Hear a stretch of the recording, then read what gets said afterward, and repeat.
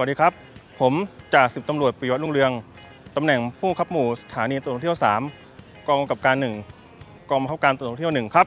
ความรับผิดชอบของผมนะครับก็เป็นสายตรวจตำรวจท่องเที่ยวนะครับสายตรวจรถยนต์ฝั่งทนครับผม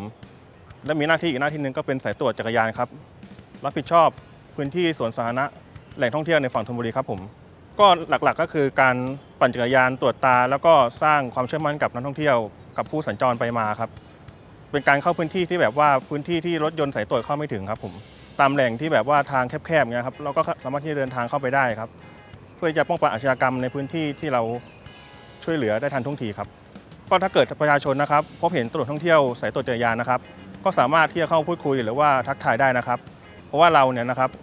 เป็นหน่วยที่ตั้งขึ้นมาเพื่อที่จะเข้าถึงประชาชนได้ง่ายขึ้นครับผมตำรวจสายตรวจจักรยานตำรวจท่องเที่ยวพร้อมให้ความช่วยเหลือประชาชนทุกท้องที่ครับผม Thank you.